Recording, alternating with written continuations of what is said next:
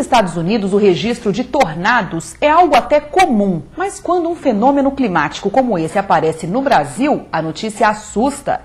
Nessa terça-feira, muitos campograndenses viram e registraram um pequeno tornado na região do bairro Copa Sul.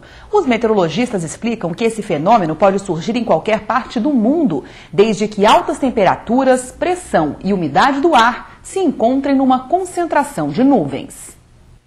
As imagens foram registradas por Gilson no final da tarde de ontem. A gente estava tomando tereré, de repente se deparou com, esse, com essa imagem, assim. Pensei, assim, naquele, nesses filmes, sabe? Nessa ficção. Eu falei, puxa, que né? tudo que está acontecendo hoje em dia, muitas vezes passa nessas, nesses filmes. Foi uma sensação de medo. Eu admirei, assim, que é uma imagem bela, assim, você olhando de longe, né?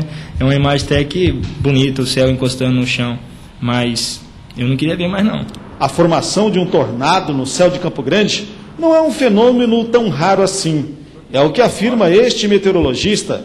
Para ele, o fenômeno climático de ontem ocorreu devido à concentração de nuvens carregadas na região, conhecida como cúmulos limbos. Essa nuvem, além de gerar outros fenômenos como relâmpagos, trovoadas, formações de granizo e vento de rajada, também gera o, o fenômeno chamado de tornado quando é no solo ou tromba d'água quando sua base chega nas águas. Além de provocar fenômenos naturais que têm chamado a atenção das pessoas, o tempo instável, acompanhado de muita chuva, tem provocado estragos em vários pontos de Campo Grande.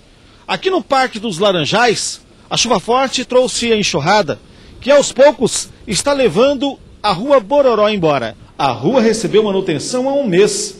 Mesmo com o cascalhamento, a força da água formou um riacho, que preocupa os moradores. Toda vez que chove, esse transtorno aqui de, de a, a água vem forte aqui, onde vem alaga várias casas aí para baixo aí.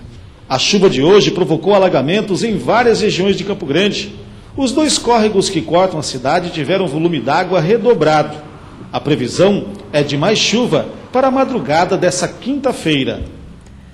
Ainda de acordo com o meteorologista Natálio Abrão, Campo Grande já registrou tornados em 2005, inclusive com danos materiais. Um deles destruiu o hangar da base aérea.